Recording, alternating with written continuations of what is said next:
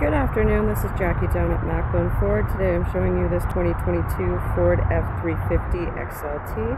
The stock number is 22F39010. If you would like more information on this vehicle, please give us a call at 403 252 0101.